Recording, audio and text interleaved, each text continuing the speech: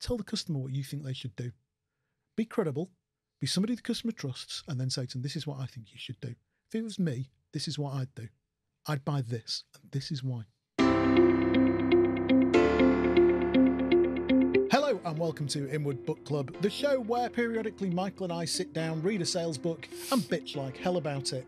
This month, This month we're going to fall out horrendously. it's all going to kick off. This month on the show, we are talking about the Jolt Effect, which is written by Matthew Dixon and Ted McKenna, best selling co author of The Challenger Sale, that book that you all talk about, but none of you have actually read. They all talk about Challenger, and you go, all right, tell me a little bit about it. Everybody's a challenger, They just like, like I always said about that book, it was just well titled. uh, as is this. Uh, we'll discuss that. We'll Great discuss branding. Uh, uh, uh, uh, uh, uh, Challenger was a study in form over function. Well, let's see what we think about the Jolt effect, yes. Jonathan. So, how have you got on with this one, Mike? yeah, I didn't like it. Do you want me to read you my? And there ends the show. Thank you very much Ah. for listening. Oh, well, it's going to be an interesting show because Johnny likes it and I don't. Yeah, I'll think- read. I'll read to you what I've put. Oh, take, on, take the you- cover you go off. ahead. Let's read what I put. So this is the first page, just in the Jolt effect, and I wrote a little message around it. Okay.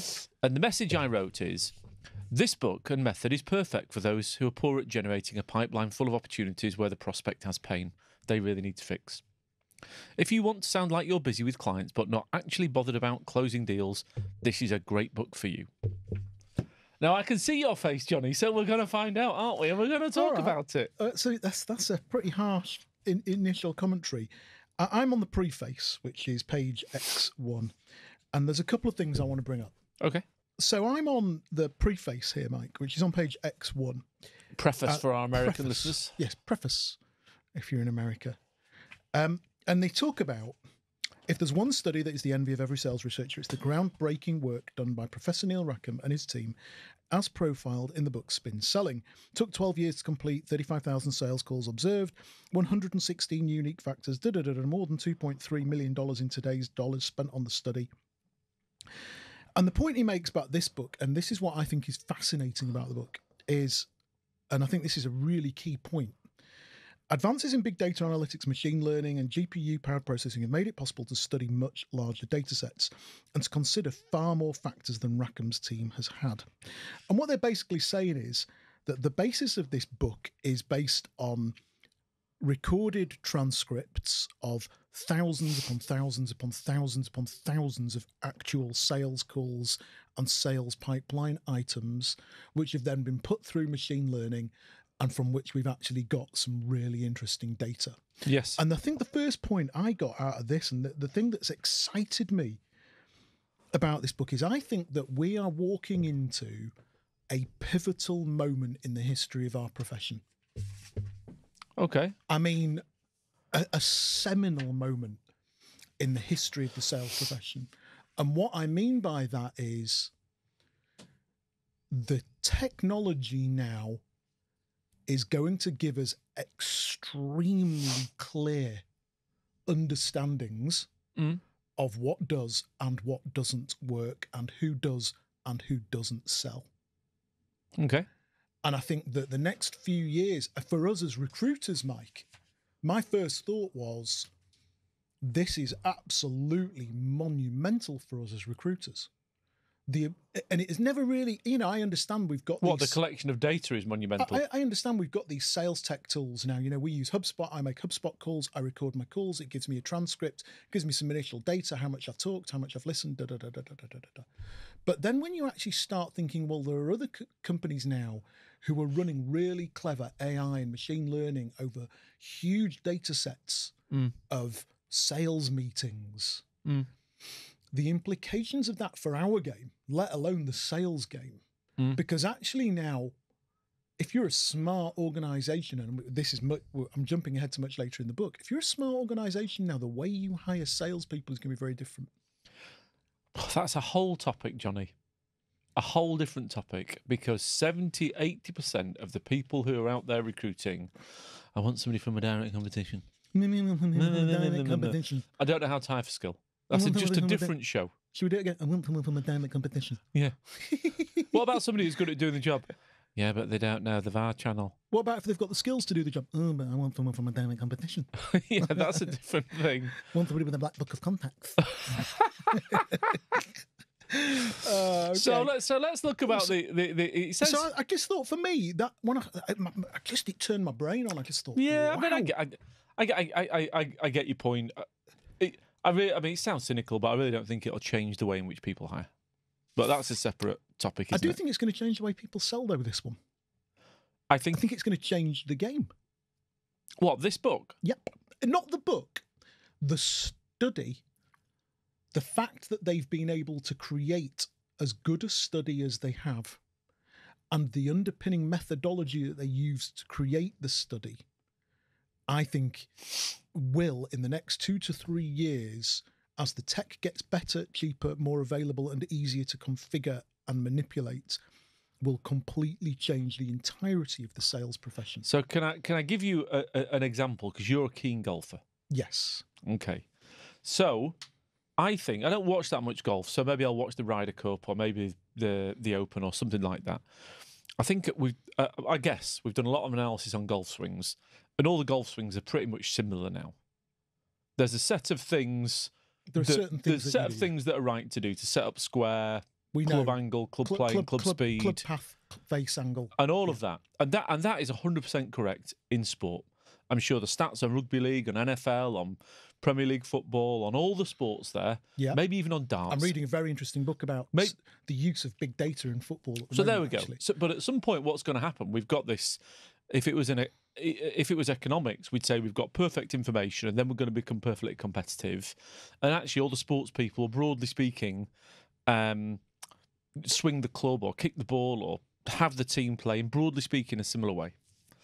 My personal view is what that will then create is an army of salespeople who, broadly speaking, are clones. You know, you look at some of the big software companies, they just hire young, middle class, well educated, good looking people. They do. Mhm. And then if you take those young, well educated, middle class people, and then you say, right, we statistically have found this is the way to do it. Are those people capable of learning how to do that and repeating the process Yes. and repeating what perfection looks like? Okay, so we're agreed on that. Yeah. And then so we're we, agreed so that we we've- hire for coachability. we, and we've created this workforce uh, wherever Microsoft, SAP, Oracle, whatever, where all the all the all the salespeople are doing the right thing at the right time. They're they're set, they're asking the right questions because they're beautifully trained and they've got prompting software, and that's great. And let's say I'm BP and I'm going to buy some ERP software, and I meet a salesperson from SAP. Bear in mind, SAP have got the same data about selling as Microsoft. Mhm. They've got the same data about the client. And they've they're got all the going to be jolting the client. Or, or whatever the current trend is. Yeah. And then I meet a salesperson from Microsoft, pretty much the same, similar thing. And then I meet a 52 year old fat Seve Ballesteros from Oracle.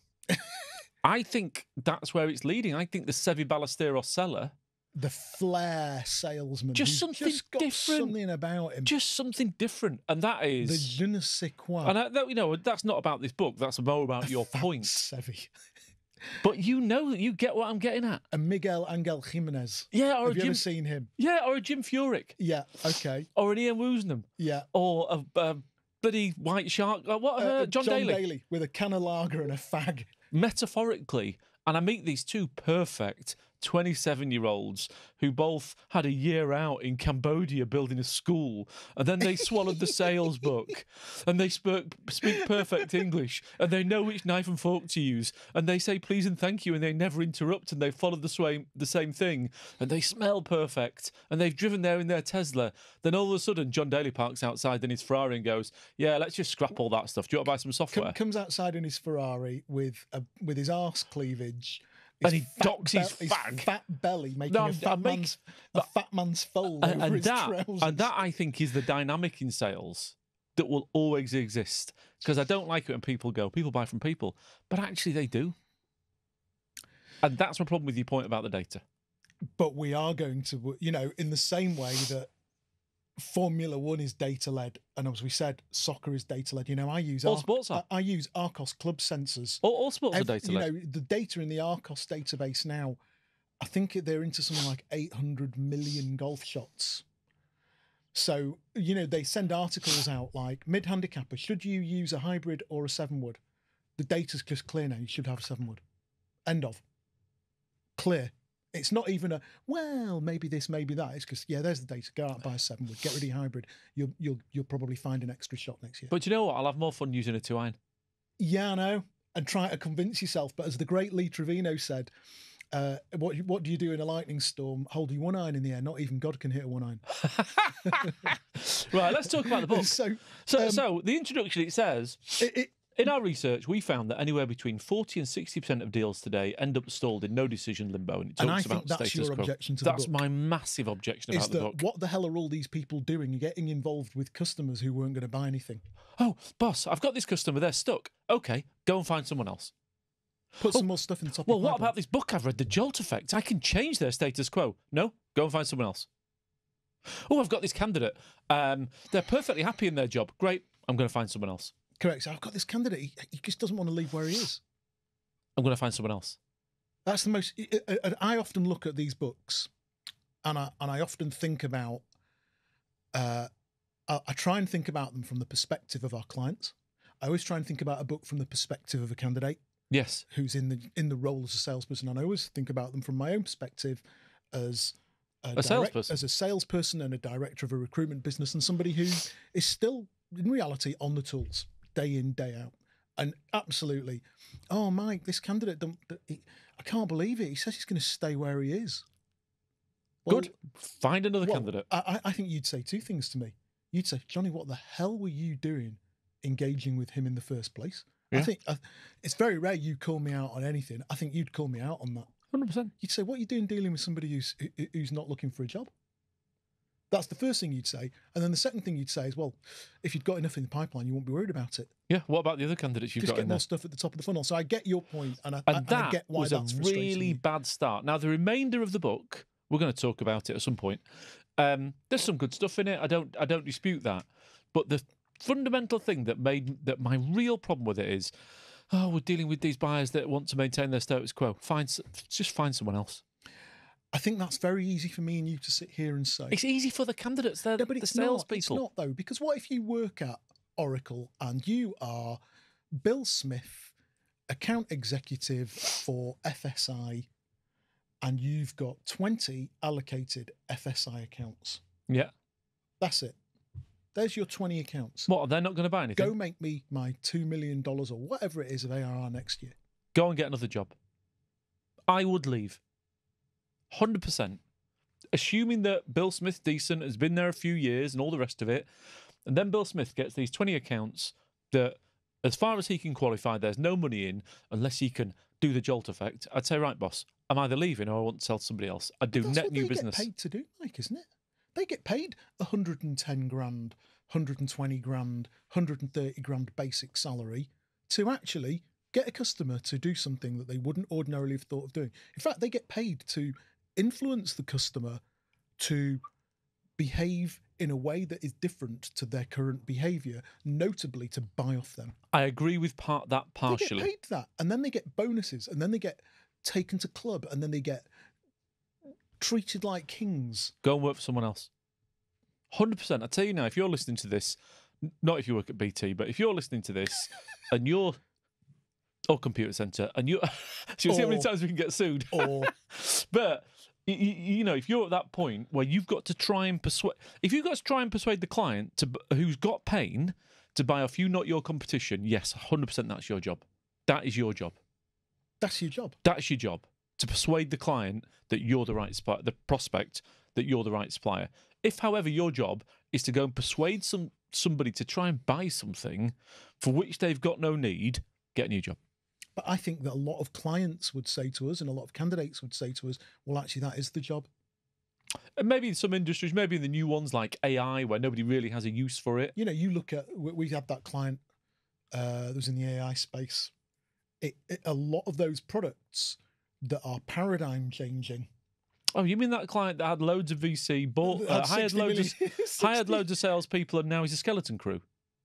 Oh, and now play now has an office big enough to play football in. Yeah, yeah, great. of them. that worked brilliantly for them. Yeah, but that cell, that's a cell that is very much you, you you've got to change the paradigm.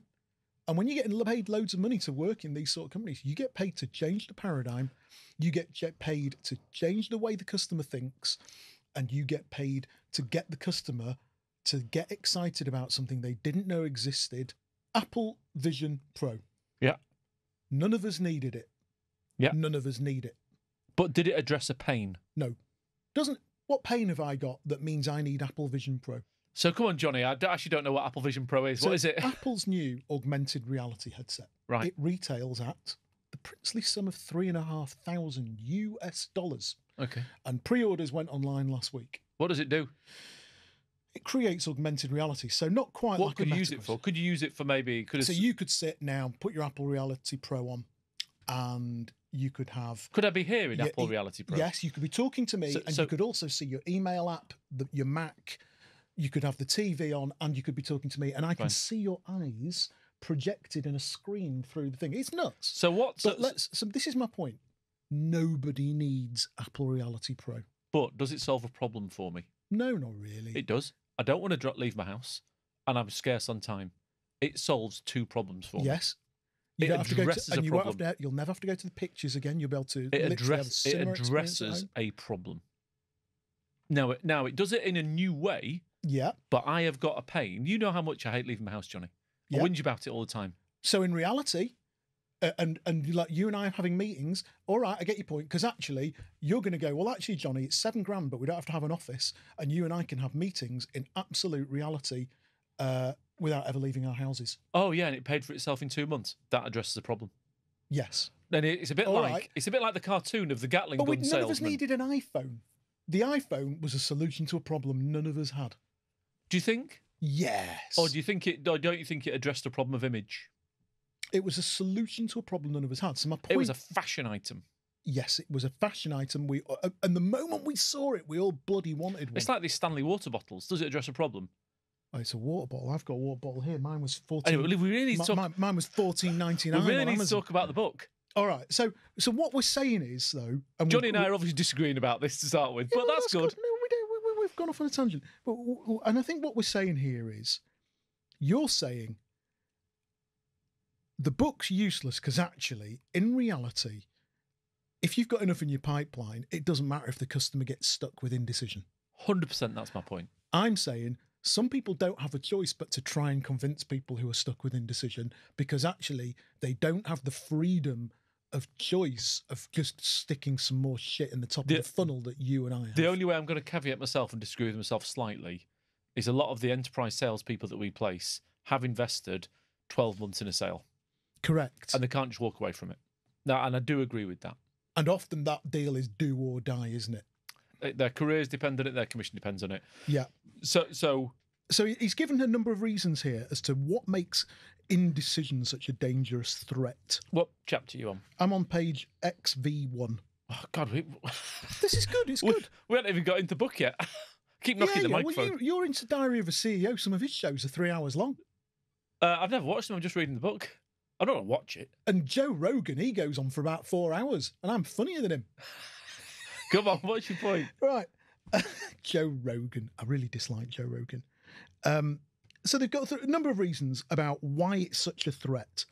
Customer indecision is driven by a separate and distinct psychological effect called the omission bias, which is the customer's desire to avoid making mistakes. I found this very interesting, actually. And then they point out customers, it turns out, are much less worried about missing out than they are about messing up. That's a really interesting point. Yes, I do and that's come out of the data. Because we've all thought that actually the way to sell is, well, if the customer's going to miss out, you're going to miss out. You're gonna miss Standing room only close. Standing room only. And they talk about this how most salespeople defer to FUD, fear, uncertainty, and doubt.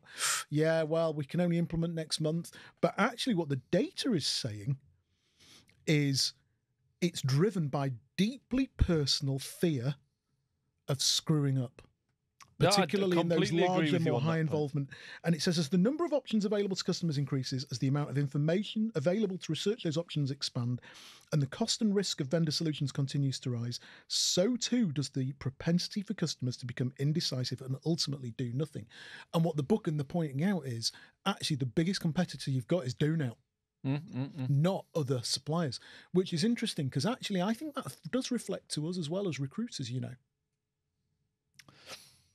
Mm, I think that. Mm, do I agree with that? Client of mine, Good point. just before Christmas, met him at the Big Data Show. He's probably going to listen to the show, and I've actually got a meeting with him later today. But where did I end up with it in the end? I ended up with it in Do Now. yes, he didn't hire anybody. I wasn't. It, wasn't a competition thing. We did a bloody good job. We put some brilliant candidates in there. I know the candidates you had in, yeah. I mean, world class. Some of those guys. Yeah, I completely agree. But actually, before Christmas, we were battling it out. It was a bit intense. Client ended up in Do Now. They've hired nobody. Not hired anyone.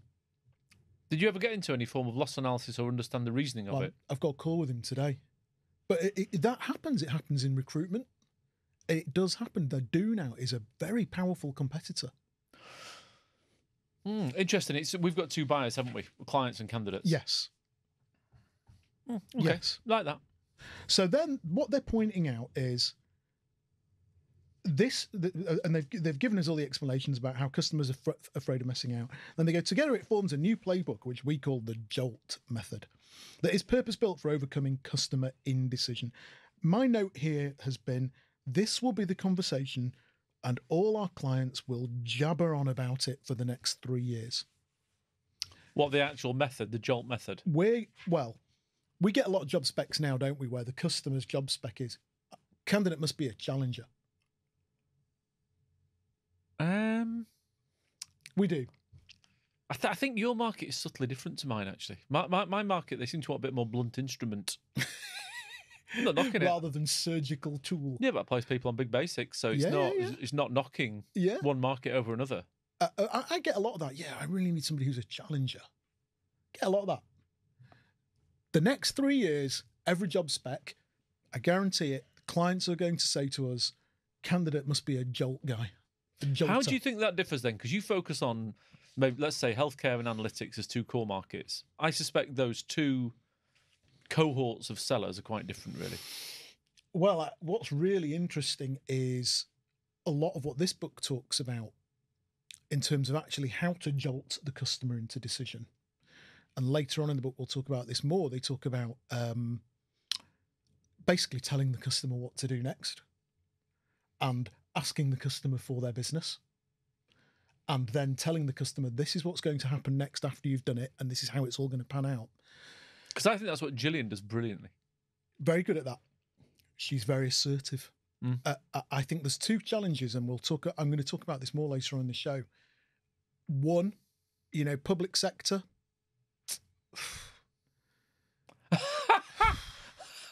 I'll tell you now, you meet very few salespeople capable of doing this who sell in public sector.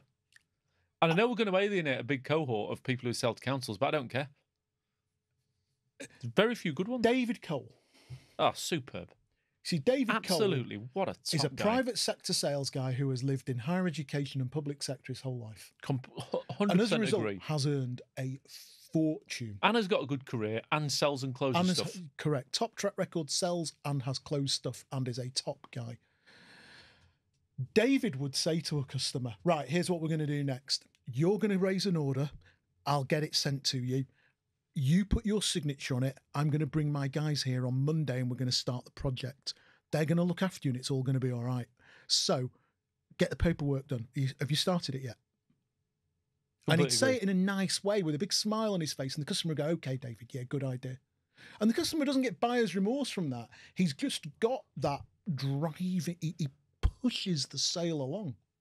And what's And it's not aggression. I agree with you completely. and they they later on there's a really interesting matrix in the book of uh, of sort of a pushiness matrix where it, it, it, it, talks about it and what's fascinating is i think in certain sectors the percentage of salespeople who have the capacity to do that is minuscule completely agree with you. Yeah.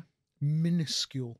I, I, and I mean, I, I'm on a real thing at the moment about how people interview, and a frustration for me is I've noticed more than at any other time in my recruitment career the percentage of candidates who close in an interview properly who actually get to the end of an interview and say, okay, right, we've been talking for an hour. Let's just do a summary of what's happened in this meeting. You told me you were looking for the following things. One, two, three. Oh four, yeah, five. I mean, I've and I've covered those by explaining to you the following things. One, two, three, four, five. Is there anything else I've missed out? No. Great. Is there any reason why we won't diarise this for a second appointment? that's all they've got to say. and They get a second interview. Is there any reason why we can't diarise this for a second appointment? No. Great. When can you do the next appointment? Um, I don't know. Okay, well, I'll wait whilst you find out.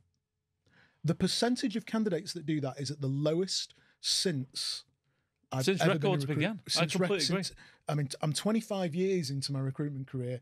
This is an all-time low. It is a source of immense frustration, and the irony, particularly, is the ones that get the jobs are the ones who do it. Um, but my going back to the point about the jolt effect, and I'm, we're going to talk a little bit more about it, is in the sectors I deal in, the volume of candidates and salespeople who are capable of a lot of these jolt type activities is minuscule. And so I think the impact it's going to have on the industry is enormous. Because one, clients are going to start hiring for joltability. I think uh, there's a word they use. And uh, later on in the book, they talk about it um, about hiring for capacity to jolt. Mm. And two, I think it's going to, as the data comes out and people start building a more data driven approach to managing salespeople, where calls are recorded and the data does throw up whether people have asked a closing question in a meeting. You know, they no longer need a sales manager sat next to them in the meeting. No, they don't. All of a sudden, some sales enablement person's going to be making big decisions about salespeople here. And I think it's going to push a lot of people out of the industry. Great for us, me and you. Mm. Demand's going to stay high. I got, yeah, you're right. I, I, I, I, um, I agree with you completely. It's it, it's fascinating, really, when you think about it. Right, So- what what page are you on? 'Cause I feel like I feel like you've hardly got even got involved in it yet. A couple of other bits. Well, it doesn't matter if we take time here, Mike. Chill. Forty-four percent of you deals. know end- I'm not a person that wants to maintain my status quo. 44% of deals that end up lost to inaction are due to the customer's preference for the status quo, either not believing that things are bad enough to change or not agreeing that the vendor solution represents a more compelling alternative.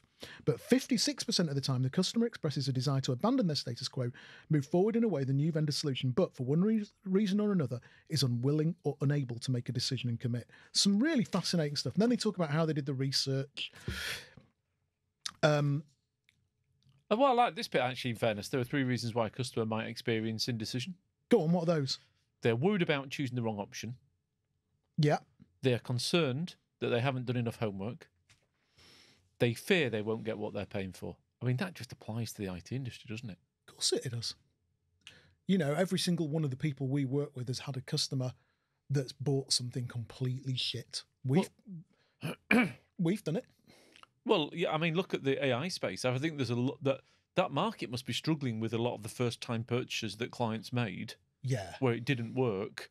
Where now somebody's actually got a really good AI, AI solution, and the client sat there going, "Yeah, I've bought one of them before, didn't work first time round." Look how long it took us to bin Salesforce. Yeah, I know. Yeah. F- purely out of fear. Yes. Out of fear. And they put the FUD on us every year come renewal time. Hard. Yeah. Really hard. And then we left, and nothing happened. We didn't die. We didn't die. It was hard. To be fair, I took my eye right off the ball in Yeah, Hub- other areas. HubSpot's great. But now, on the other side of it, there's no What's it- way what- I'd regret that. What's purchase. interesting about that is, I think this time around, you'd more easily bin HubSpot if something else came along because you're now used to the change and the fear is lessened Yes. in you. I'd be much more ruthless if HubSpot started screwing up. There Yeah. are bugs all over HubSpot now. My confidence in making a big system shift is much higher, Yes. if that makes sense. Mm, 100%. Yeah. Um, there's a, a couple of bits here. When buyers pass up or miss out on their dream home, it colours their perception of every other home they look at. Even in absolute terms, any of these other options represent a better situation than the buyer's current housing. And I wrote The Ghost of Candidate X. Yeah. How often do you get that where you put candidate X in front of a client, the client absolutely falls in love with the candidate, but they don't get to hire them? And I always say, oh God, oh shit, we're going to be living with the ghost of candidate X here for the next agree, two yeah. months. And two months later, they haven't hired anybody because they're still sitting there hankering after the ghost of candidate X. Mm-mm. And you're like, yeah, he's off the market, mate. He's gone. Well, can you find me another? No. You should have hired him when you had the chance. And you didn't hire them. So if I find you another, you're probably not going to hire them either. Yeah, because you couldn't pull it off. Right. So are you are you actually into chapter two yet? I'm not. I'm on page 11, which is about the inaction paradox. Just they talk about Daniel Kahneman and Tversky's work, don't they, about how people prefer to minimize loss than to maximize gain. Yes, and they've got a little. People graph. hate losing much more than they like winning. That's very true of me, actually. Mm. It's fascinating, that isn't it? They hate losing more than they maximize winning. But as a salesperson and as a finding, it's very easy to skip over that as we read the book and go through the show. People hate losing more than they like winning. But actually, as a salesperson, that's just a huge learning, isn't it? Yes, And, the, and what's amazing about the book, and I know you hate it, is actually the data is saying people be losing more to than be, to be clear about the book. It, the book is like having a Betamax video player and only being able to get VHS cassettes. Most of the book is excellent. Yes. I just I would have just stopped at page one when it said when, when we're talking about trying to sell to people who weren't going to buy anything, Yes. and therefore I'd just ditched the jolt My effect. issue with it is it, it, it pads out a lot where it could have just said, listen, point one, people hate losing more than they. I mean, I get your point on, the, well, on this point. You know, it's, Uh, it's a very. The whole point. people hate losing more than they like winning. It just made me think of the whole thing on the TV recently with the Horizon scandal. yes, They spent a billion dollars, didn't they, on that software? I don't know. Yeah, it was about, I think they spent about a billion quid on it. And they hate the thought of losing and admitting that it wasn't right was so great that they were prepared to let people go to prison. Mm, yes. I mean, that's extreme. When you think of it that way, Mm. the thought of having somebody at the post office having to admit we've really screwed up here. so they covered it up and covered it up, and everybody covered it up because nobody wanted to be part of that team that said this has been a terrible purchase. Well, it's interesting. So I, I write down affirmations every day because I'm weird like that. And one of the affirmations that I write is try it today as if you're going to go out of business tomorrow. Yeah, that's very. It's quite a stoic thing, that isn't it? The Stoics talk a lot about doing each thing as if it was the last time you were ever to do it. But I think there's a lot, lots of good in that mindset. Mm. You know, how many salespeople get carried away with themselves because they have five years with a company, they think they're absolutely mega, then they get a job above their station, and then they have five jobs in five years. Yeah, loads. Loads. Loads. Yeah, Chapter two. Are we actually onto the jolt effect yet? we're getting there, Mike. I feel like a child in a car. Three purchasing errors of commission valuation, lack of information, outcome uncertainty. The last bit, outcome. So they, they, what they talk about are the three reasons why people are indecisive, and then he talks about the silent killer of sales. They call it the carbon monoxide detector.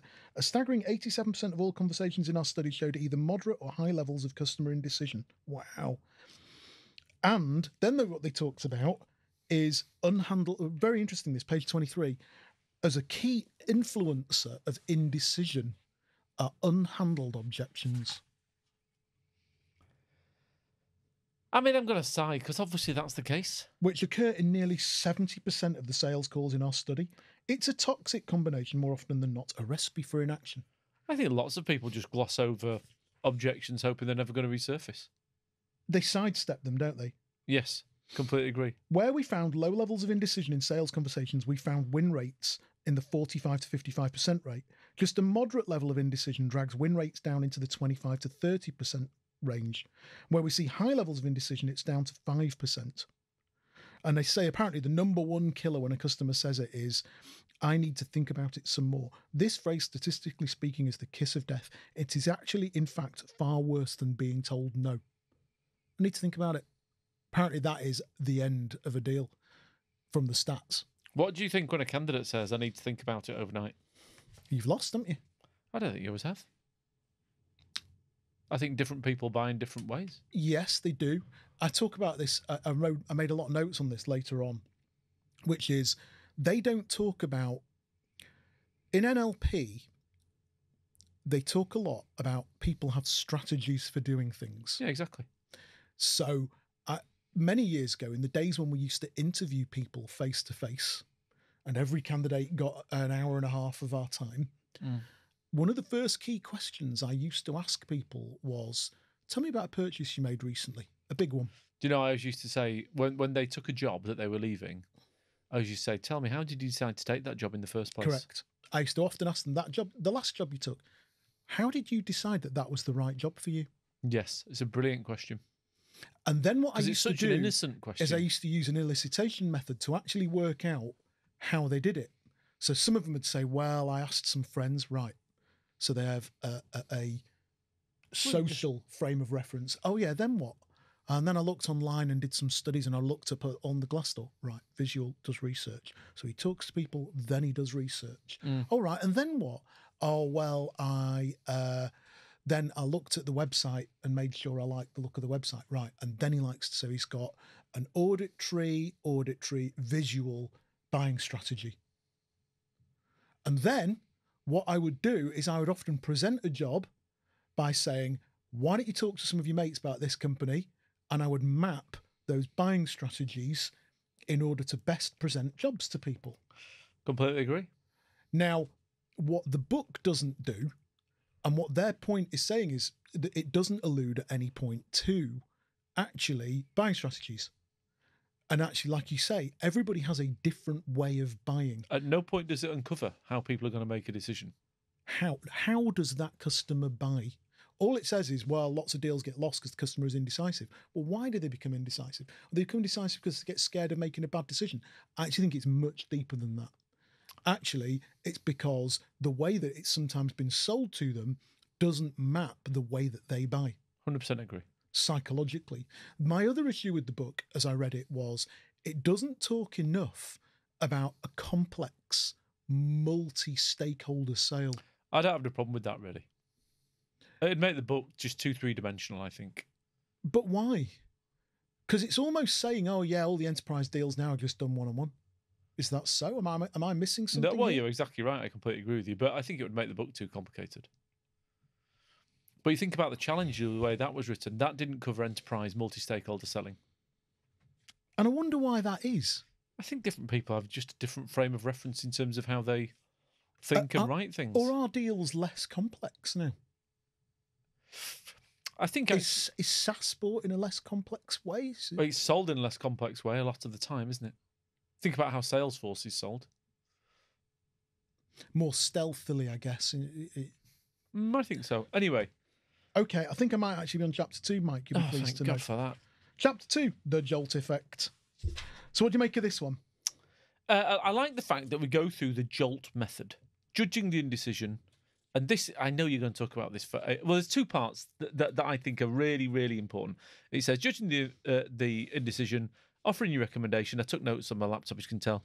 Uh, limiting the exploration and taking ideas off the table.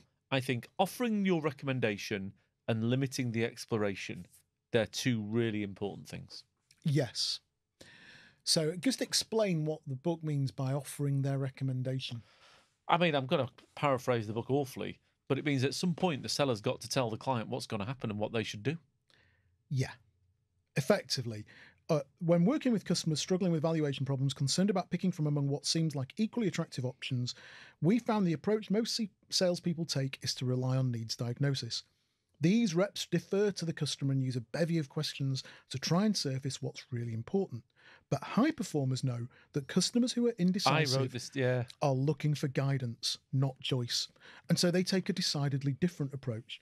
Rather than asking confused customers what they want, they instead tell them what they should buy. Now, I think that, as I said, Mike, That is the best bit in the book. I think that's a seminal moment in the history of our profession. I won't go that far. I'm telling you, it's a game changer. That all those years of all those salespeople. No, Jonathan, it's, it's consultative sale. You've got to listen to the customer, and you sat there thinking, "Yeah, you I- seem to have I- had ah, ten I- jobs in ten years." You, Uh, and yet I don't think it's a game changer. I think it's validating something you have believed. Yes, Quite whether, because I think the, I think a lot of the sales books, the the clients and salespeople know this stuff anyway. They just sort of do it. And if you've got a good track record of three jobs in three employees in five years in new business sales, you're doing all that. the good ones just get on with it anyway. They just tell customers, "Right, I think you should buy this." Your wife does that. She ain't going to read the Jolt Effect. No, she won't even listen to the show. No. Last thing she- she needs to spend another hour listening to me next week. But point is, does she need to? No, 'cause she does it anyway. Yeah. And the good ones just do it. Naturally. Yes. They don't need training on it really. They just decide, right, I want this customer to buy this software and I think this software is right for him. Therefore, I'm going to tell him to buy it. Yeah, correct. But I think there's a large part of the population, of the audience, that finds it very difficult to tell a customer what to I think that's quite. because we've actually We've created filled social. we've filled them so full of fucking Kool-Aid about being consultative. I think we f- we feel not just salespeople, but the whole population. Yes, we've Hun- filled them so- so full of this nonsense Kool-Aid that actually the thought that they would walk into a meeting and say, "Right, Mr. Customer, t- I've got an idea. You're going to do this next." Well, do you know what's interesting? So, in a kind way, with a smile on your face, with the best interests of the customer at well, if a doctor tells This- you, if a doctor tells you, right, Well, you, you've got you, you, you're going to have to amputate your left hand, Jonathan. it alludes to it in the book. It says doctors have uh, because the because because patients have such a huge ability to gather data now. Apparently, better performing doctors have taken to saying, "Here's the line of treatment I am going to recommend to you, and I think you should do." No, but let's just get back onto. I mean, I agree with you, but let's just get back onto where, where I, I, I wanted to talk about. So, I think if you take my daughter who's 15, in about seven years she'll be a salesperson because that's just where she's going to end up, and she has had her head full of getting away from pressure. The whole young kids now are getting away from pressure. She said to me the other day, she said, I was I was putting her under pressure, absolutely no doubt, to put her phone down and do her homework. She said, uh, I think that that your pressure is now triggering me. Was she winding you up though? I said, Are you joking? She went, Yeah, I am. I said, Right, give me your phone, or you can't have it again. Do your homework. but but I think a lot of people believe that. She says it in like a parody kind of way. Well, look at that that that girl yesterday who was going on about her morning routine Oh, I know, yeah. on LinkedIn, and I ripped into her about it a little bit. I know, and her response was, Well, Jonathan, you're welcome to your own opinion. It was just so sort It's so sickly. sickly nonsense. But I think we're going to take a lot of the sickly nonsense that are now feeding into the world that's going to become sales. And your point is going to be they are not going to be directive salespeople. They're not going to be Gillian or I- I- Dave I, or. I wrote on page 39, I mean, the final part of, of what makes a good jolter is removing uh, risk. They take risk Take off, risk the, off the table, yeah, yeah. But I wrote on page 39, customers are all going to start telling me in about a year's time that they want to hire jolters in, instead of challengers. and you're going to go, where from? Correct. And I've written the jolters are going to be harder to hire than the bloody challengers. Of course they are, yeah. They're going to be harder to find. And I don't think they're going to be that easy to make. Not not from. Mm, I think that's true of most sales books, though, isn't it? Really, what you're asking somebody to do is change the nature of what they do and learn. It's a bit like asking you to change your golf swing.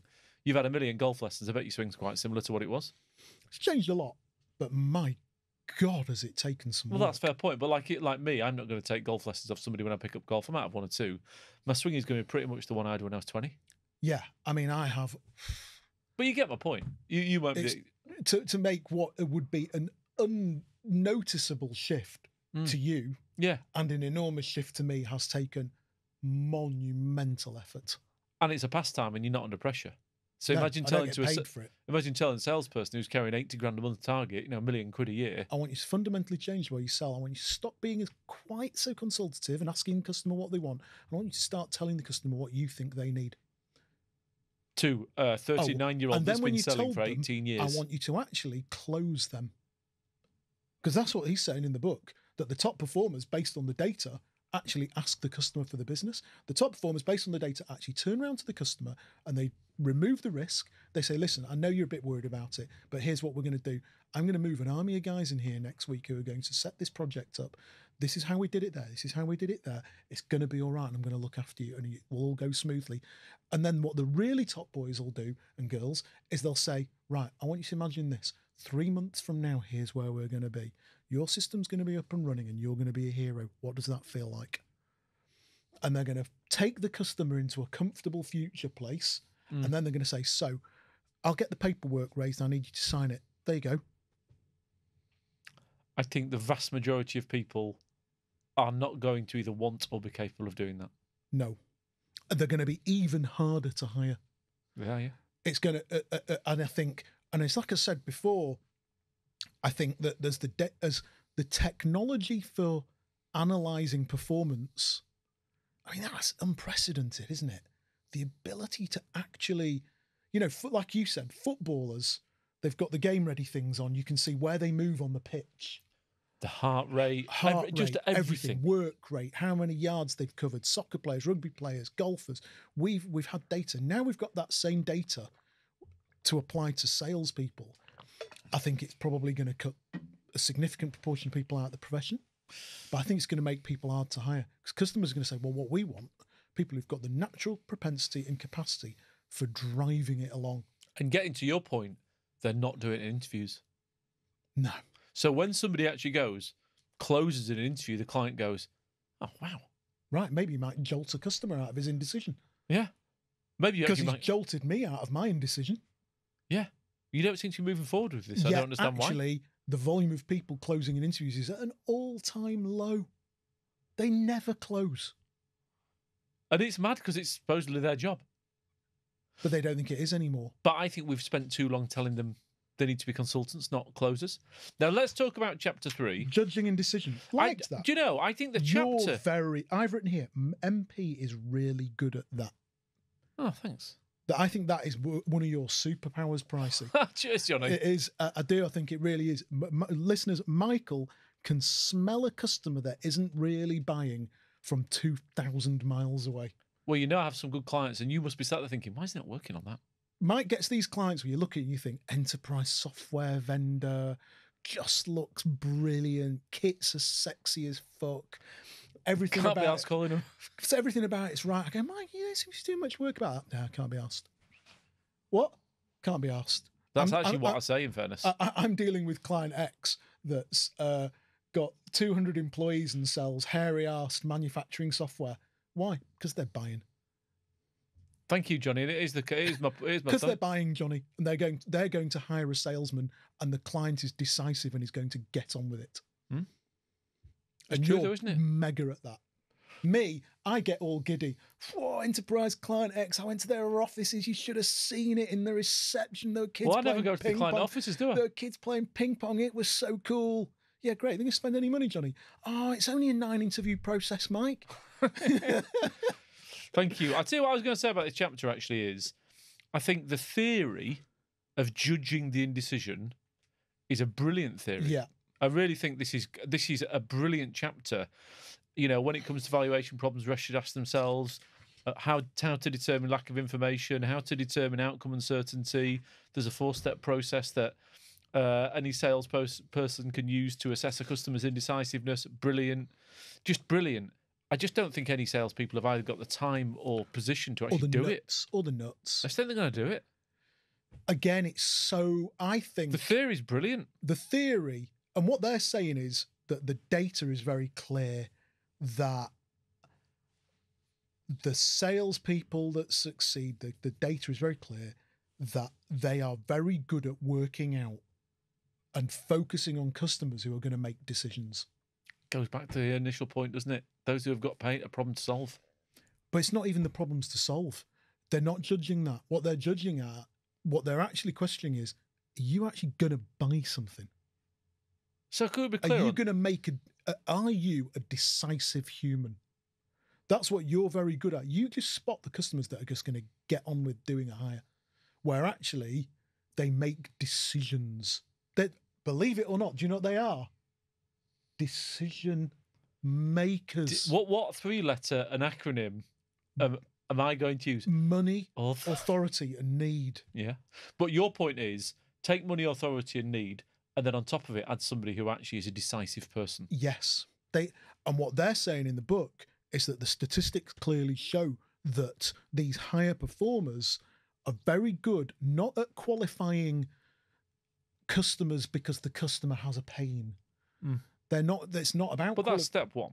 it's step one. What they're actually good at and what they focus on in their pipeline, customers who they know are going to buy something. Because that's your point, I guess, about the client that you're speaking to later on this afternoon.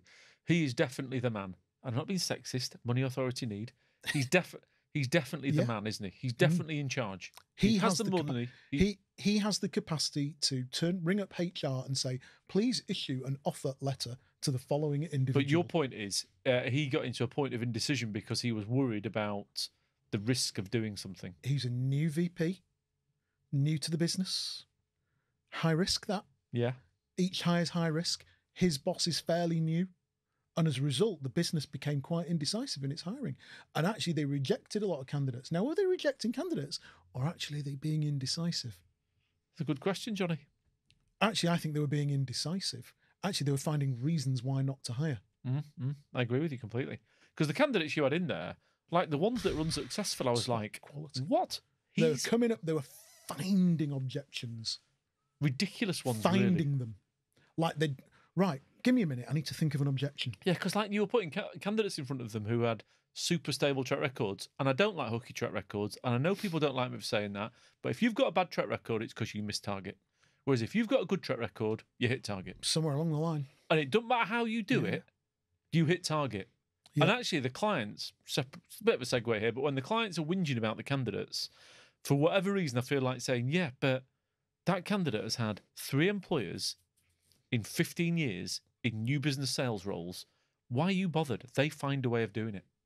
Yeah. Whereas your client was going, it was trying to find a reason not to do it And so It- what in an Absolutely. impeccable track record. Absolutely. And so what they're saying in the book is that actually a key facet is that ability to just smell a customer who's going to go, yep, I got a problem. Yep, I got to fix it. And yep, I am going to buy something. Well, it's interesting. So let's talk about I'm going to evaluate and I'm going to make a decision. because I had a, I've got a client who you know. Um, I'm not going to mention the technology because it's quite a narrow market, and they briefed me a while ago, and you said, "Mike, why aren't you working on that?" I said, "Because he just drags his heels." And then you said, "What's going to happen?" I said, "At some point he'll phone me, give me a hard time, and put a rocket up my ass." yes. and, So- and about two days ago, you rang and said, guess who phoned me and put a rocket up my ass this morning? Yeah, but do you know what? His decision, his indecisiveness, his status quo, it clearly goes on a journey of some kind, doesn't it? It briefs. Yes, He has a problem. He goes through a mental. I mean, we talk a lot, don't we, about customer journeys? Yeah, he, he's buying or he's, he's indecisiveness or status quo journey or whatever. It just changes, and all of a sudden it snaps. His buying strategy, his methodology. I sent him four CVs. it's all subconscious, isn't it, as well? I sent him four CVs yesterday. I, I logged on my email this morning. First email I got was from him at five Can I thirty-eight. see candidate X and Y He at wants, to, he wants to meet all four. right. I guarantee when I switch my phone on because it's on on airplane mode, he will have called me and text me. I just got that that, but that's all of a sudden he's in that zone, isn't he? Yeah. He's now decisive. He's gonna. He now wants to get it done, and just that capacity to spot decisiveness. But again, how do you hire for that? How do you hire for that? How do you hire for that? Well, you use us obviously because we know what we're looking at, but you know beyond that, I mean, how do you interview for that? How do you search LinkedIn for that? You don't. You don't. Then he goes into. He talks a lot that. uh, One of the things I disliked about the book is could have been a lot shorter, as with a lot of these books. And they've padded it out with lots of quotes of Daniel Kahneman and lots of behavioral economics. Actually, I sometimes wonder, and maybe this is part of what's going on in the world. We're all a bit accelerated. I mean, I listened to this as an audiobook at two times speed whilst I was on the on the Peloton. Two times speed. I said, oh, but I can listen to it. But that, I think that says a lot that we just want the content. Well, we we're it learning to speed read. Yeah, It's mad. yeah. Um, uh, and there's lots of research, and uh, and it's padded out. It could have been a white paper. So, what about chapter four? Then your recommendation. The more options you put in front of a customer, the more they want to hit the pause button. I've got to say, we see that so often in recruitment. Oh, you put six candidates in front of a client, they'll often not hire anyone. You put three candidates in front of a client, they'll hire someone. It's a big problem for me with the with the with the clients when they've met somebody and they go, "Oh, I'd just like to see a few more." They get interview fatigue. I say, "Well, do you actually want to hire the one you've got? Are they unsuccessful? Yes or no?" Oh, it's not like that, Mike. I need some comparison. I always say, "Why do you actually compare the candidates to your needs?"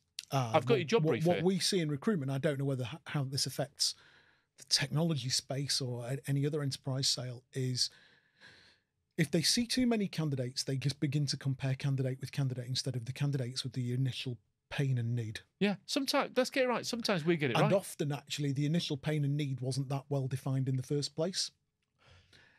So I've just had a place. So then what you've got is a client comparing candidate with candidate against a pain and need that they didn't really properly fully understand about their own business anyway. Do you know what's interesting? I've just placed a, uh, a guy with a company, and um, And then what do they hire pricey? before you tell me about that. Then they hire the one with the shiniest looking CV in the end. They hire the one that's worked for the competition. Yeah. I mean, it's pathetic. But that's what happens. So you've just placed the candidate. Yeah, yeah, yeah. And so this client briefed me about a year ago. And at the time, he was really nice about it. At the time, I said, What's your average order value? How are you going to. Standard questions. And it just sort of fizzled into nothing. And this time around, I met him the other week in Leeds, told you. Uh, and I went to see him. He went, Do you know? He said, I came back to you because the first time I briefed you and you asked me loads of questions I didn't know the answer to, I felt a bit embarrassed that I hadn't thought about it.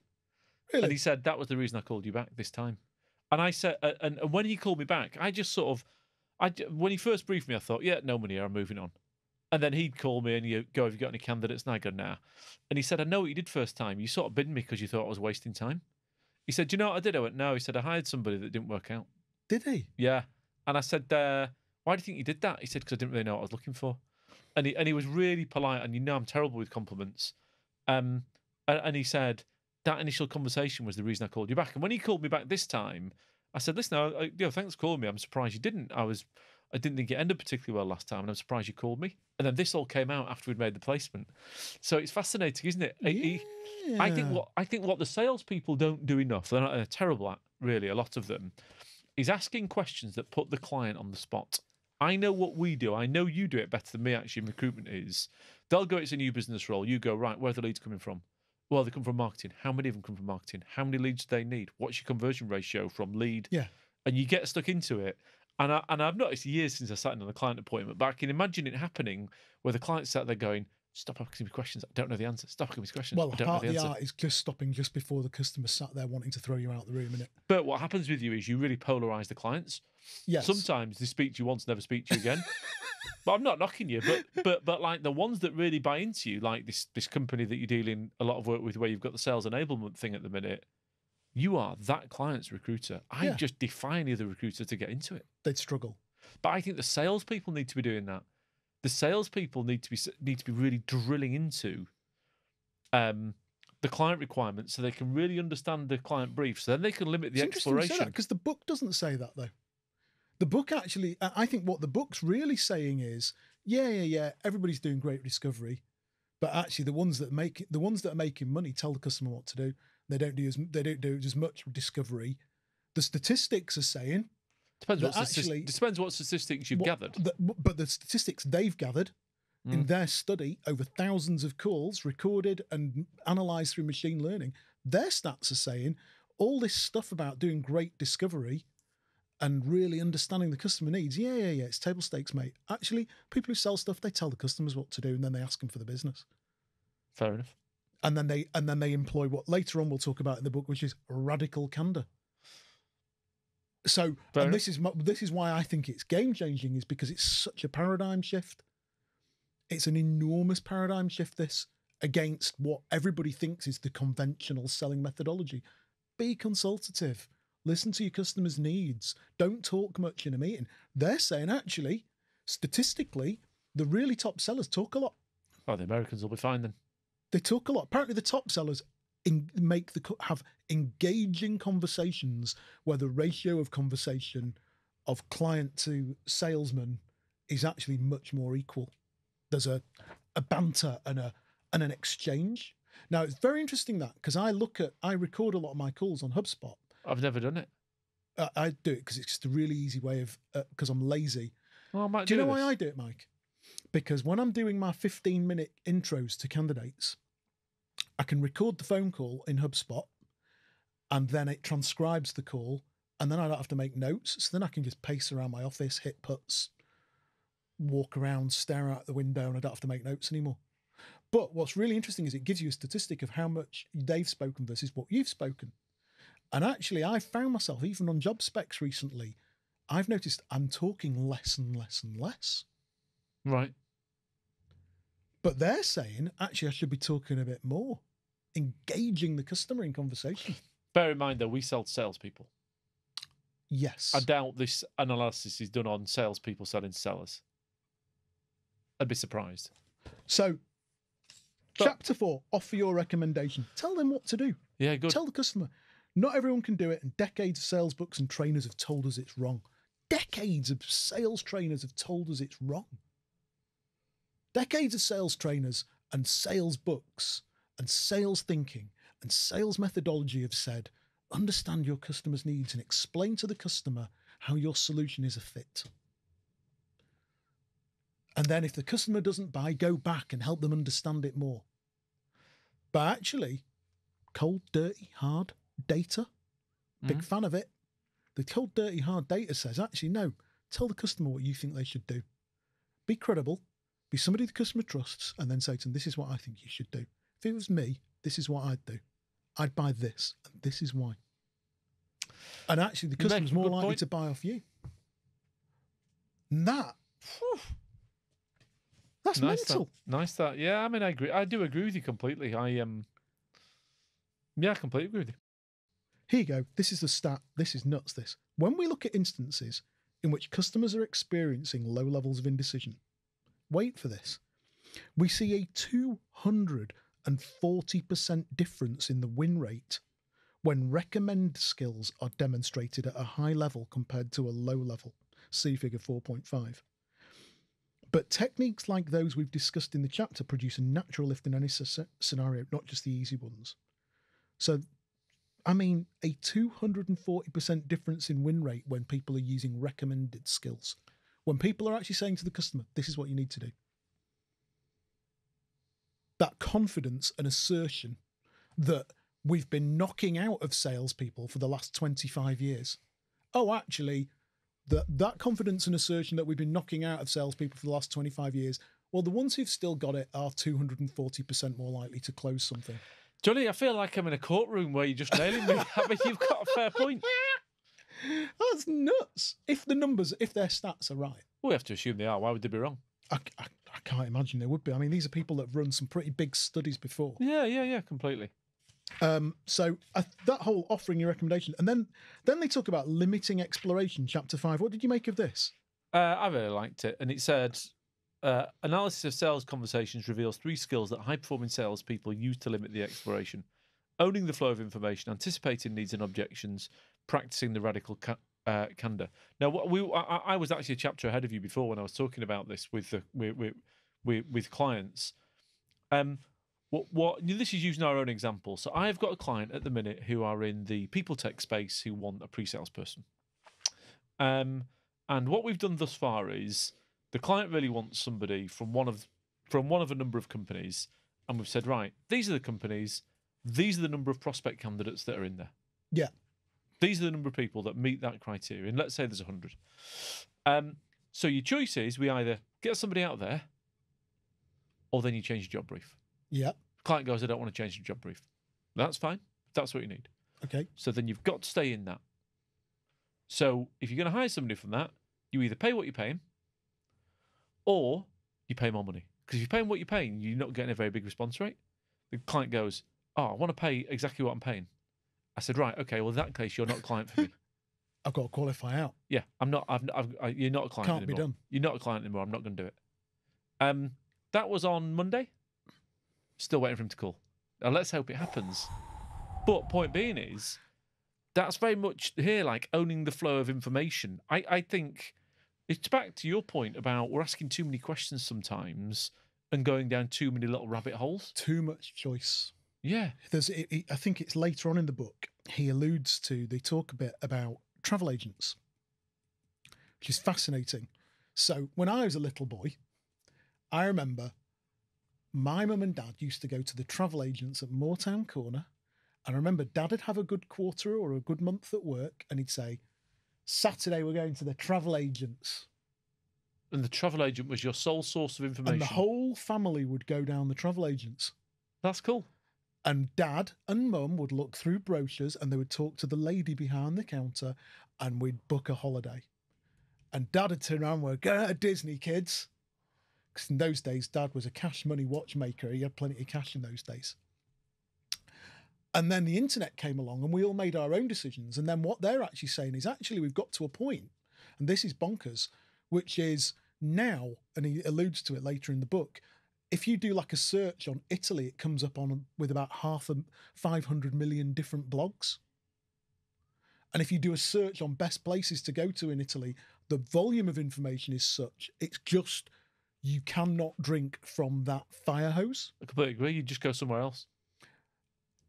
So much data, so many reviews, so much TripAdvisor, so It's many mad. It, it- vlogs. It puts me off Amazon. And so, actually, what's happening is people apparently, the travel agency industry is back in growth mode Who would have because people, interestingly, Gillian and I use a travel agent recently. We've booked several holidays through a travel agent That's cool. where we've said to her, where she rings us and says, "What do you want?" Well, like for example, it's our fifth, our twentieth wedding anniversary this year, and we're thinking of doing like a big American road trip. We will get Lisa, the travel agent, to do that. Get ChatGPT to do it. We're No. going through the Canadian Rockies. Oh yeah, I've asked ChatGPT to do me a route from Calgary to Vancouver, taking in Banff. It said you should follow this. You should follow this route. Bam, bam, Stop bam, Amazing. I thought this was So, good. so that's the point. The I- point I- they're I- making is they talk about controlling this flow of information, and what they talk about, what's really interesting, is apparently one of the things they found statistically is the top sellers relied on solution engineers and pre-sales. I was going to say that. Well, you're going to say that. Sorry, High performers in our study were less likely to cede control of the conversation to others inside their organisation. Specifically, we found that top sellers relied less on subject matter experts like solution engineers, product leaders, and customer success managers in their calls than, than did the average performers who tended to bring in subject matter experts much earlier. I mean, that's really interesting for our sector. Really I've got a client, Mike, uh, that I'm working with at the moment. I've got a second interview there next week on a government job. Uh, they do analytics stuff. And interestingly, when I- I, did a series of interviews with all the hiring managers, uh, the, the, the, the MD introduced me to all the different hiring managers for all the different jobs.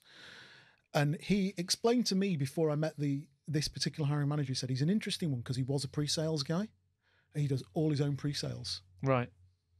I said, "What do you mean?" He just does it all himself because he can't be asked. By the time he's rung somebody to do the pre-sales work on it, he could have done it himself. So he does it all himself. The guy was three hundred percent to target last year, but why? Because he sat in front of the client and he just sounds like an expert. And he's saying to the client, "This is what I think you should do." So we've got a lady who works for us called Joe who does my research Yep. in lots of cases. Is it easier for me to do the research or her?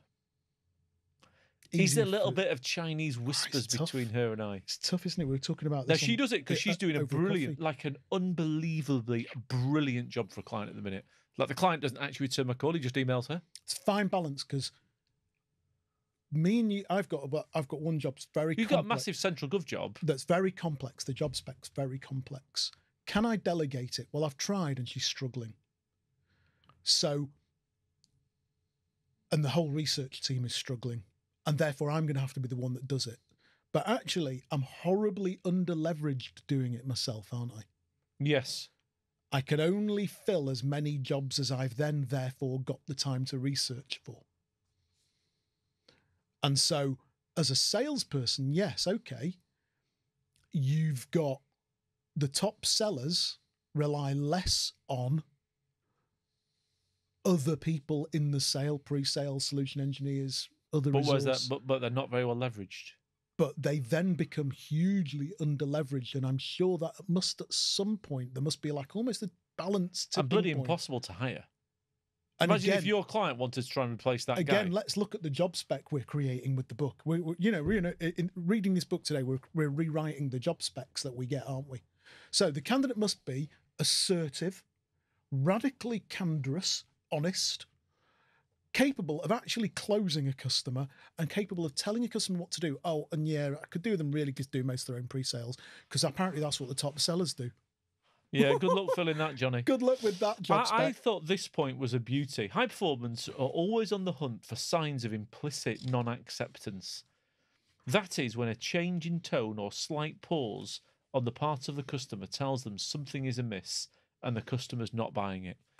I talk to you all the time about change of cadence with people. This, it's just, I, I, yeah, I always think we were going really quick, now we're going slowly. what did I say to you yesterday? Just we had a coffee in the Starbucks before we came in here, and I said to you, uh, I spoke to so and so, so and so yesterday about candidate X. He seemed really cool with me. And he hasn't said anything different, really. You've just gone, we were really warm about this person. and the pace has just gone, and the pace has just changed like that. One minute it was all go, go, go. You need to meet the CEO. Go, go, go. And then all of a sudden, I've not heard from him for two days, and he was really cool with me on the phone. No, I said to you, might be closing a deal, whatever. Yeah, could have had That- a bad day. Could have just lost a big deal. Could That's have been had a row with really positive. That's been really positive about it. But my my gut feel immediately went something's wrong there. Now, what's different about Johnny and I is Johnny would call the client again. Me, I'd just rule it out my diary and move on. You'd literally go, mm, I can spend half an hour talking it through with the client, or in half an hour I can speak to two potential new client decision makers. I'll speak to the new two potential client decision makers. And Johnny will be there going, Mike, what about that? I'll go, yeah, whatever, I don't care. Whereas I'll ring the guy on the way home and go, Do you know yesterday when I rang you, you seemed a bit cool me. We okay here? But I'll I will have radical candor. it's mad. I'm not saying I will what- have the radical candor to say, Are me and you good? What's that, wrong? and that's the important bit. I'll go, me and you all right? And what's wrong? Because that's an interesting part of the book, you see. Because And he'll go, mate, I just had around with the missus. I'll go, oh, right, I just thought you were pissed off with me. yeah, because that's interesting about the, about what my opening point in the book is. You will stick with him. I will just bin him and find somebody else. And neither of us is wrong. No. And I actually, you know, I- I always say I prefer your methodology. It's lower stress and lower pressure. But your point will be, but I've invested so much time in this person. But the just stick another one in the top of the funnel methodology is the least stressful way to live your life as a sales professional. Much less stressful. What's happening with that deal? Don't know. It's, it's more today. sus- it's more professionally sustainable long term. Because imagine if you were a client and you, let's say you're my boss and I work for you and I'm we're selling cloud technology, Microsoft Cloud, whatever, and you go, Mike, is such and such going to close? I go, yeah, I don't know, but I have booked four new appointments today with the following companies for next week. Correct. I, as I always say, the placements we make today are chip paper. Completely agree. Chip paper, we used to call it. And, and, and, yesterday's news. and it's an interesting thing about the the, book. placements we get today is six is news that took place six weeks ago. because because I, I don't disagree with the book, other than that opening bit of trying to change people's status quo. Yeah. And what is interesting is it's two different philosophies, which is actually in most companies they celebrate an actual signed win. Mm. You and I celebrate and get more giddy about new appointments, Well, who have I just new got client into? appointments. Uh, uh, one of the largest global consulting companies in the world. Full stop. we actually, I don't know if you realize this, you and I get more giddy and celebrate more about booking top quality new client appointments than we do about when we actually 100%. put a placement on the board. Because we're a bit like, yeah, yeah, yeah, that was tenacious. Well, who am I meeting tomorrow, Johnny? Client. Massive company. Yeah. Just mega company. But that's more exciting because it's just stuff in the top of the funnel, and putting stuff in the top of the funnel makes for a less stressful life. It's interesting because somebody we're connected to, uh, and I do, I'll mention him, we're connected to Sean Maloney. Known Sean, and I, I think Sean, if you're listening, I don't know if you do, I he really likes respect so much the of my content. He, I, I, he, he literally, I reckon Sean likes every post I put out there. Me Thank too, you, me too, and I like his, and I really respect the guy. We've known him since A long time since since, we were kids. Since we were kids, Mike. and he put a post up, and I, I and I just read it, and I and I didn't comment because I didn't know how to comment in, in a nice way, really.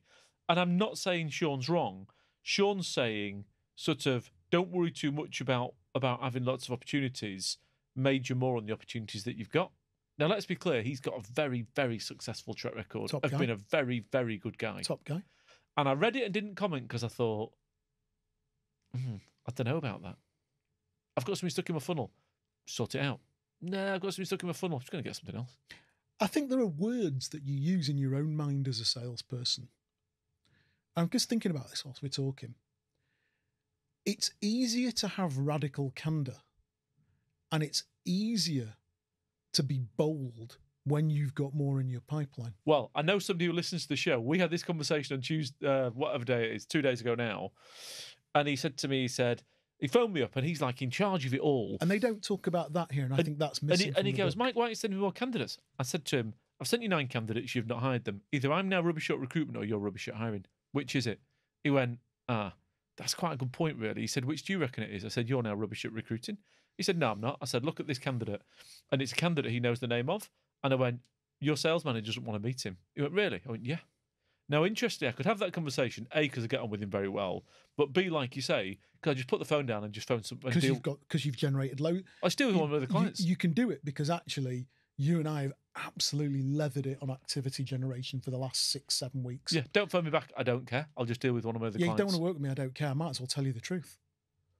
And your, that's your point about if you've got lots in the funnel, you can say whatever you want. So then they're saying, yeah, the top sellers have got radical candor. Okay, so you've got I two bet the top deals. sellers had the best funnel. Correct. And that's missing from the study. Yes. Because actually, imagine that you've worked all year on one deal that's worth 2 million ARR and your target's 2 million, and there's two months left to the year, and the customer's just not quite coming over the line. How easy is it when actually that's the only thing you've got in best for you to have some radical candor? And turn around to the client and go, listen, client, you were going really quickly before. You seem to have really slowed down. You're not talking to me as much. I just Yeah, don't do- get it. Are we doing this or I just don't get it. What's, What's going on? What's I- going on? I think you should do this. Yeah. Are you going to do that? What's going on with me and you? You've gone cold on me. Why? And I think his the study here is based on people who've probably got good funnels, who are probably Yeah, able I- to have radical candor. I think that's mathematically an enormous missing factor in the study is what was the volume of activity above what's in the funnel at the point at which the client becomes indecisive. Easy to have radical candor, easy to tell the customer what to do, easy to close when you've got loads in the pipeline. Do you want to buy it or not? No. Okay, no problem. Anyway, I've got another deal I've got work working. Bye. I get it with candidates. They're going to take a job. Uh, I don't know. Well, just tell me. Uh, no, I'm not. Right, no problems. I've got to go. They go, oh, well, Mike, I really want to say I really enjoy working with you. Yeah, I don't care. Yeah, we're not mates. But it's so true, and I do think uh, just debating it. I think that just as we talk about it now, what a fascinating thought, which is it's it, it, it would have made the study perhaps too complex, but it's a fascinating thought, which is okay. So these guys that are full of radical candor, these guys that do tell the customer what to do a little bit, the ones that are capable of actually, well, I'm only going to work on the ones that are, Well- are, decisive.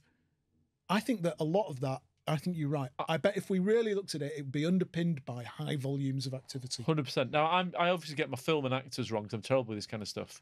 But Al Pacino, Glengarry Glen Ross, is that right? Have I got those two? Tony Romy, yeah. Oh, I got it right. That's I, can I think Whoa. that's the name of the character. My wife would be absolutely amazed. But what do you reckon he did? He just I, I'm sure he would have gone. Yeah, I just went to get another lead. Whereas the guy sold, I don't know who it was, sold a deal to the old couple, and he was telling Tony Roma Shelley about. Levene. Yeah, Uh, And and he scene- sells to the little old couple, and everybody goes, yeah, yeah, yeah. They buy for everyone, mate. but Tony Roma was don't- nice to him because he was a nice person. Well, he was a nice lad. He was a good salesman. He was kind. and- Anyway, so chapter seven. Can we? Do we have to go through take risks off the table? We sort of discussed it. we've kind of talked about taking That's risk good. off the table so and the way the good chapter ones seven, become a buyer's agent.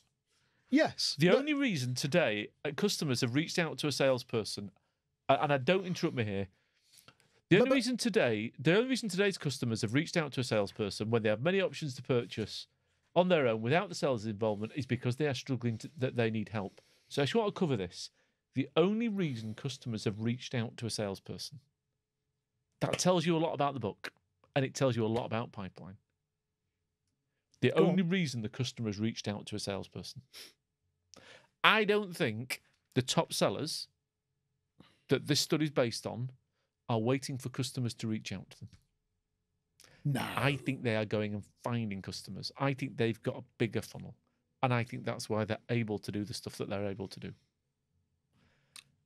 yes. And I wrote that in capital letters in my notes. And then they, it, what was fascinating was they talk about this whole, eh, you know, I was talking about the travel agent thing and how the Yeah, travel yeah, agent, yeah, yeah. and what they're saying is that these top sellers are becoming like the travel agents in a noisy world where actually the customer can make a lot of decisions themselves. The top sellers are becoming like the agent where they're saying, right, this is the holiday you're going to have. This is what we're going to do. now, actually, and I wrote something down in the column here. I wrote the word trusted advisor. trusted advisor. They are trust. They become trusted advisors. After all that, I've pasted that phrase for a long time. I've always really disliked well, it. I was speaking to somebody yesterday. You know who you are.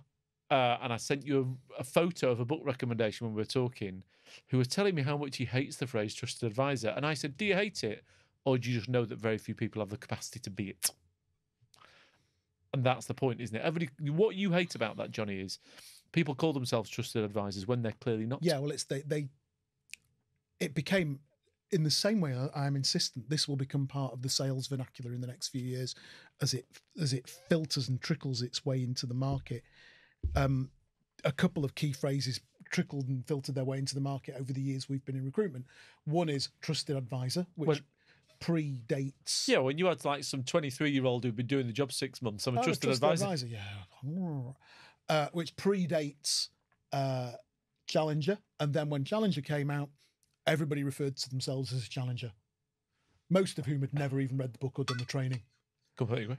Um, and actually, that phrase "trusted advisor," I can't. We've we've covered the book on the show. I can't remember who wrote it. That phrase "trusted advisor," actually, I think now is based on this research very relevant. It is, but how do people do that? There's very few people who are capable of actually doing that. Again, it adds to a recruitment nightmare, which is a level of expertise. And they do allude to this in this whole concept of becoming a, a- an agent. The, the, they allude to it. It says here, in many respects, there is nothing more central to being a salesperson than asking for a sale. However, it often surprises sales leaders when they learn their reps, reps do this far less often than they think or hope. And I'll go on to the closing bit in a minute. But what they're saying is actually that level of expertise, knowledge, and ability to advise like that.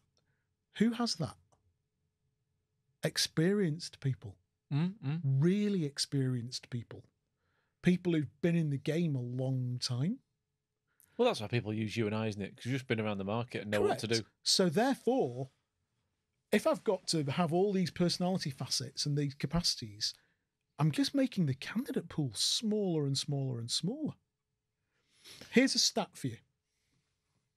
In our study, reps reps actually ask the customer for the business only 46% of the time. Ha! This means that in more than half of all sales conversations, not only is there no confident close, but there's no actual discussion of a sale at all. But sales leaders would be misguided by assuming that the fix to this issue is to get their sellers to ask for the business on every sales call. The more accurate interpretation of this finding is that in more than half of sales opportunities, salespeople haven't earned the right to do so. So they're caveating it a little bit. But let's go back reps actually asked the customer for the business only 46% of the time. How mental is that? I'd like to have the stat on how many people try and close an interview. Way less. 5%. 5%. Fair enough. Um, Then they got to the it, then the you- book goes on to talking about customer loyalty. uh, yeah, I, was- I only wrote two lines next to that. But what they talk about is quite interesting. They talk about post-purchase behavior, which was quite interesting about how actually the good sales reps manage that. But a lot of that is structural in the organisation, isn't it? Well, what one of the I only wrote two points down on this. One of them was customers who express hesitancy and who need to be wrestled across the finish line are the same customers who later recant their decisions, invoking cancellation clauses and asking to be let out of their agreements. Amazing. There's no surprise. Well, there's no surprise though. I don't think is there. No. I twisted your arm to take a job. You took it and then you didn't turn up. Well, how can I be surprised? I've done that before. I've twisted a candidate's arm who didn't turn up I don't bother. I just say, well, do you want to take a job many or not? years ago. I don't even get into it. I don't even get into persuading the candidates. Where I've could uh, many years ago in my early years, uh, where I've well, Jacko's was built on that, wasn't where Howard Jackson was built on that cajoling people into taking jobs. Yeah, yeah, exactly. cajoling customers into hiring people. That was what that whole business was based on. Yeah, yeah. Um, and then we got into how much indecision's costing you. I, I thought this was like their sales pitch to us, really, Yeah, uh, and I wasn't. I wasn't so, so keen on that. Um, what did I put here? I put something really interesting. I, I put here using. They, they, there's a chapter on using conversation analytics to gauge the impact of indecision, and I just want to go back to the conversation intelligence thing. Um, I've got a couple of customers that are using role plays in interviews now. yeah, I had one customer that actually hired actors. What? To- uh, uh, what a ridiculous client that was! And then they went out and hired people who were garbage. They hired utter muppets in the end. They hired absolute. Presumably they hired Muppets. actors. Presumably they hired actors. But, and this is my point, I quite like the idea of seeing a demonstration of skill. I, I, I, like it. The only thing it does is it puts candidates off the job that might have gone for it But the good candidates don't get put off. They just go, yeah, whatever. I'll yeah, whatever. I've got the skills. I'll be fine. Yeah, yeah. I think role play that if I was to design an interview process, it would have them in it. So now imagine that we've got, and this this kind of technology has been around, but I think where we're going to be in a year or two is this technology is going to be thirty quid a month, not thirty grand a month, and every customer is going to be able to do a Teams call for final interview with a role play brief, record it, and then use machine learning analytics to judge the extent to which somebody's a jolter or not, or a, a jolt effect person. I think a lot of candidates have been successful. I mean, the implications of that for companies trying to grow.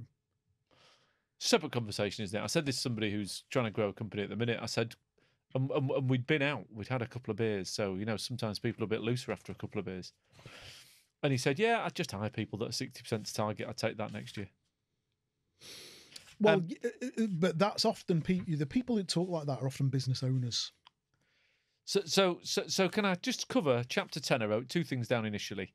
Um, the first thing great Jolt sellers do is to make sure the inbound caller is, in fact, a viable buyer.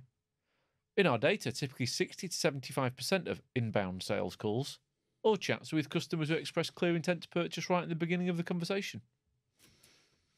Mm. Inbound is my problem there. Inbound. 'Cause I tell How you what- many clients do we have where they have actual inbound lead flow? well, let's look at it another way. So let's say It tells you that the study skewed on large enterprise software vendors with big marketing teams where with people big marketing teams and inbound inbound call volume inbound requests.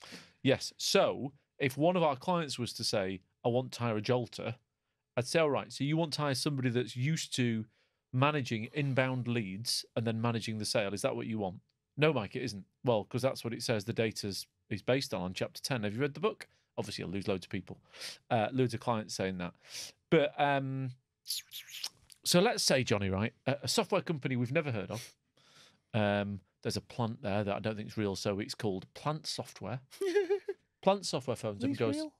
They're not real, are they? Plant Software phones up and goes, Hi, Johnny, we've found you on um, Google. We're looking to hire 10 salespeople. Right. Okay. That's great. Thanks for calling me. What are you paying? 90K basic. Great. Hmm, Happy days. Brilliant. How many other recruiters have you briefed? Six. Great. Okay. Um, I suggest you choose one. I'm going to persuade me to be that one. And if I'm not that one, if I'm one of six, I'm not interested. Gotta go. I wonder whether that's part of this qualification process. Because if you're ringing SAP for ERP, you're probably going to ring Oracle, SAP, you know, all of it, aren't you? Yeah, you're going to do the beauty. I think that uh, the, And that's the problem with- beauty parade. And that I think it. is the problem with inbound leads. So a lot of the study here is based all on our inbound leads are all, nearly always shit. nine times out of ten. Yeah.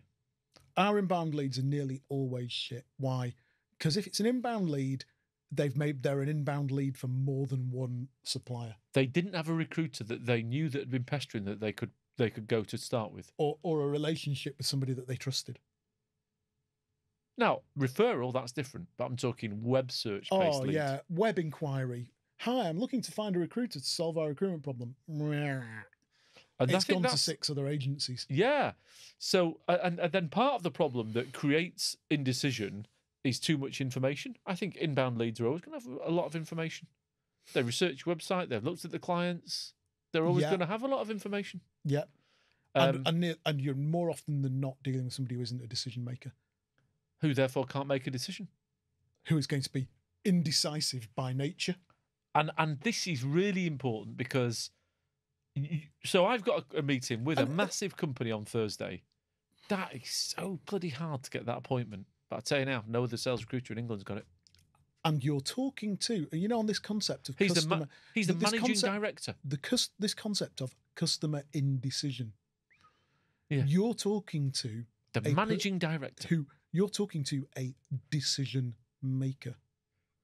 And they don't talk about that much Well, in the what book. do we do about? I said to him, "What do we do about T's and C's?" He went, "Send them to me. I'll sign them." How many? You know, the, the, one of the mentions they don't mention in the study is in how many deals where the customer became indecisive was the customer not a decision maker. They don't. You're absolutely right. I'd love to know that. Actually, what are the numbers where, okay, great, X percentage of clients become indecisive and the seller becomes indecisive? Yeah, okay. well, to what extent was that person capable of making a decision? Were they actually the decision maker? And, it, and there's no mention of that in the book. There's I no that, mention. Johnny. I Of, haven't, I haven't even thought about that. Are There's- you? there's no mention of. Well, he was. Who are you selling to? Technical buyer, user buyer, economic buyer. The economic buyer. And it's almost like, oh yeah, let's forget about that whole concept of uh, buying influence. How strong an influence are you in the account? So come on, Johnny. We're nearing the end of the show. We I think we're done. Jolt effect marks out of ten. I am going to say it's a six. And I'll tell you where it loses points for me. It loses points that I've said a million and one times. Find people who are buying. That's a real massive problem for me. If you're trying to influence somebody who's not in pain, who's maintaining their status quo, you are talking to the wrong people. Find somebody that is. Um, the other thing, well, no, that's unfair. That's my that's the main point I dislike. Things I really like about it is is if you've invested a bucket load of time and now your client has gone slow for some reason, this is a very good framework. Can't in any way dispute that. Very good. Very, very good. Good starting point. If I was a salesperson and I was involved in a big sales campaign right now and I was sitting on my bike at the weekend thinking, "Rah, This is a brilliant pick this thing. book up, pick it up. And the statistical analysis is excellent. Excellent, So- but wanting. Yes, and I didn't like the Challenger, and I didn't want to like this when I got when I, when I started reading it. I much prefer it to Challenger Sale. I Mm, think it's a much better framework. So I'm going to give it six out of ten. Should people actually buy it and read it? Yeah, definitely. but please think about whether people have actually got a need. So I'm saying six out of ten. What are you saying, Johnny? It's missing a few things for me. One, uh, doesn't account for pipeline volume. Well, exactly. Yeah, yeah. It's a major problem. And as we've said and have thought through today, actually, it doesn't cross reference these great sellers with actually what did they have in the pipeline? What was the pipeline coverage? Completely agree. Because I think my gut feel is I bet the bait, the great ones all had big pipeline coverage that enabled them to be a little bit more radically full of candor and tell the customer what to do and actually close. Easy to close when you've got a big pipeline. Mm, mm, mm. Two, um, it doesn't talk about, it talks a lot about client indecision, but it doesn't talk about complexity of the sale, the complex sale, and the level of actual buying influence. It alludes to it slightly of the top salespeople qualify whether the customer can make a decision or not, or is a decisive person. But what it doesn't quite go into is actually the concept of selling strategically and making sure that you're influencing the right people. Yes, I agree. I feel that's really missing. But in fairness, that's Three. what this book's about. Three, I think it will create for me and you and for the sales profession some big change. I think everybody's going to be talking about it. Everybody's going to misread it. Oh, lots, Miss- of, lots of people won't read it. Everybody's CV is going to say, I employ the jolt effect to ensure maximized win rates. Da, da, da, da, da. And most of the people who haven't read the book. And what it's going to create the most is a candidate shortage. Just can't see that. I just can't It- see it- that. because people are going to want what they can't have. Can't see People that. are going to say, "I want a salesman that closes, and I want a salesman that that challenges, and I want a salesperson that's going to tell customers what to do." Yeah, well, there isn't that many of them out there. I mate. completely disagree. I think if a client makes reference to the jolt effect, I'm going to say, all right, so you want a salesperson uh, that's good with inbound leads where the statistical data is based on people who've got inbound leads in a full pipeline. Is that what you want? I'll tell you now, that's what I'll say. And if they want that, I should bin them. You'll just spin them, but the customers are all going to talk about it. Well, Year and a them. half from now, every job spec you get, in the same way that now lots of job specs we get, yeah, candidate must be a challenger. Da, da, da, da. I think it's going to have a bad influence on. It's, It's going to make it harder to hire good people. it's a very influence, uh, interesting, the Challenger thing, because I think of one company in particular. I think the Challenger thing is a really, It's a red herring. but I don't think it's that. I think it's a mid market amateurish thing to say. Yeah, it is. It's really. It's a I think the really. I think the really top sellers. It's the daft thing to say of a customer who hasn't thought through what they really want. I, think- I think that I think that the, the, the, the top salespeople, I don't think they're, bothered about Challenger. I think the top salespeople naturally do it anyway, as the book in fairness So, said. My marks out of 10 are seven. I think it's going to be a very influential work.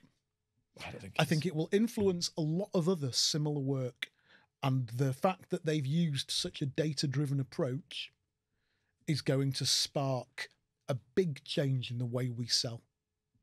And we're going into an era of so I, the, the actual content itself, mm, the idea that we've now got this amount of data and we're going to have that much data going forward.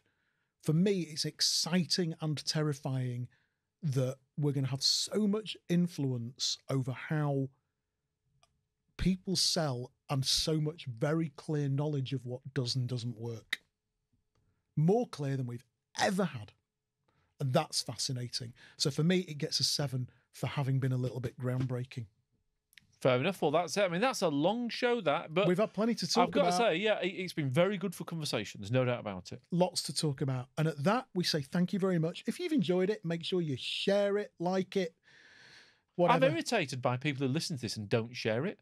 Does my nutting. Why would you do that? Because we actually have to work quite hard to do it. I've I've actually had to I've had to read. to, the I've had to read a six out of ten book. I've had to listen to the audiobook, then read it, then make notes on it. I tell you, it's a bit like right. It's a bit like LinkedIn, where you put a post up. Literally, all people have to do is click like. Yeah. Why wouldn't Share. you do that? Anyway, we love you. Goodbye. Bye.